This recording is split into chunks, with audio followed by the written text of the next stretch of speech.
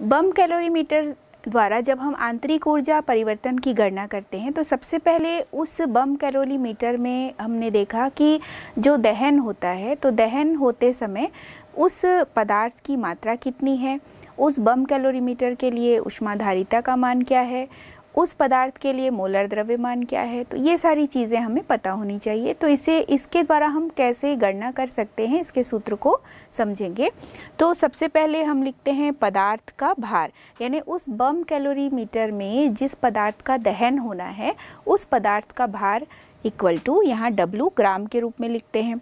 यहाँ पर पदार्थ का आणविक द्रव्यमान बराबर है कैपिटल एम कैलोरी मापी जो है, उसकी उष्माधारिता कैपिटल क्यू के रूप में ले रहे हैं। इस प्रकार दहन होने से तापमान में जो वृद्धि है इक्वल टू डेल्टा टी तो इस सूत्र को हम किस प्रकार और आगे लिख सकते हैं? अभिक्रिया में उत्पन्न ऊष्मा बराबर क्यू डेल्टा टी यहाँ पदार्थ के दहन से उत्पन्न ऊष्मा बराबर होगा Q into delta T into M upon W तो डेल्टा U बराबर, यानी इस पदार्थ के दहन से जो उत्पन्न ऊष्मा है, उसको हम यहाँ लिख सकते हैं delta U equal to Q V, क्योंकि जो स्थिर आयतन पर तंत्र द्वारा जो अवशोषित ऊष्मा है, वह आंतरिक ऊर्जा परिवर्तन के बराबर होता है।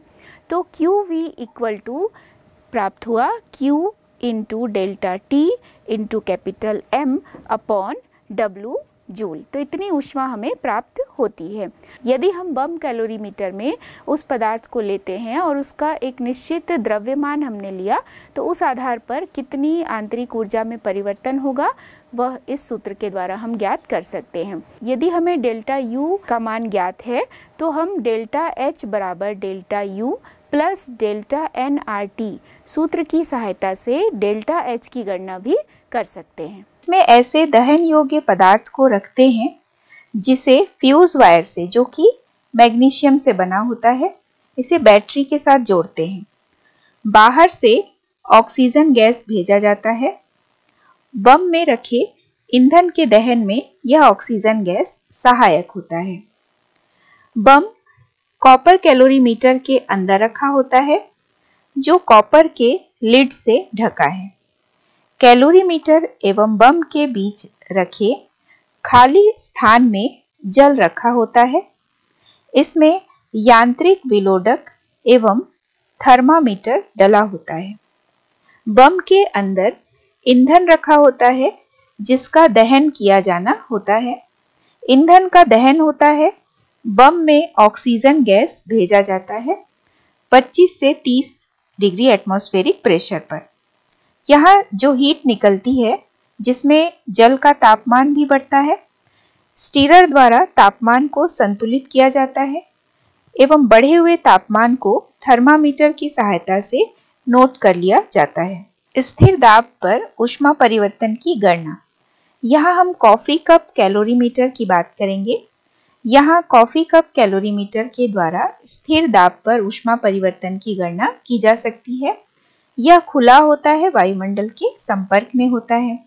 यह फोम्ड पॉलीस्टाइरिन कप है। यह आंशिक रूप से जल से भरा होता है, जिसका आयतन ज्ञात होता है। इसमें स्टीरर या विलोडक एवं थर्मामीटर लगा होता है, जो कप के लिड से डला होता है। यहाँ हम ये देखते हैं कि स्थिर दाब पर तंत्र द्वारा ऊष्मा ग्रहण की जाती है या ऊष्मा उत्सर्जित की जाती है तो एंथैल्पी परिवर्तन की गणना हम कैसे कर सकते हैं? तो यहाँ डेल्टा एच बराबर क्यू पी होता है। यहाँ पर क्यू पी बराबर विशिष्ट ऊष्मा गुणा एम गुणा डेल्टा टी यहाँ क्यू पी तंत्र में ऊष्मा प्रवाह है एम कॉफ़ी कप में लिए गए जल का द्रव्यमान है, जो कि ग्राम में लिया गया है, और डेल्टा टी तापमान में परिवर्तन को दर्शाता है। जल की विशिष्ट उष्मा का मान है चार दशमलव एक आठ चार जूल प्रति केल्विन प्रति ग्राम। तो डेल्टा एच जब हम कैलकुलेट करेंगे तो उसके लिए सूत्र होगा डेल्टा एच बराबर एम गुणा जल की विशिष्ट ऊष्मा गुणा delta T upon N. N यहाँ पर तंत्र में अभिकारकों के मोलों की संख्या को दर्शाता है। तो इस प्रकार जब हम डेल्टा एच की गणना कर लेते हैं तो स्थिर दाब पर तंत्र द्वारा ऊष्मा कितनी ग्रहण की जा रही है या उत्सर्जित की जा रही है, इस चीज़ की भी गणना की जा सकती है। या हम कहें स्थिर दाब पर ऊष्मा परिवर्तन की गणना की जा सकती है। चलिए, अब हम बम कैलोरीमीटर आधारित एक प्रश्न देख लेते हैं। एक बम कैलोरीमीटर में NH2CN की अभिक्रिया डाई ऑक्सीजन के साथ की गई एवं डेल्टा यू यानी आंतरिक ऊर्जा का मान minus seven forty two point seven kilo joule पर मोल पाया गया 298 केल्विन पर. तो इस अभिक्रिया के लिए एंथैल्पी परिवर्तन ज्ञात कीजिए. N H two C N plus three by two O two is equal to N two plus C O two plus H two O यहाँ एंथैल्पी परिवर्तन हमें ज्ञात करना है और ये आंतरिक ऊर्जा की वैल्यू दी हुई है, delta U equal to minus seven forty two point seven kilo joule पर mole.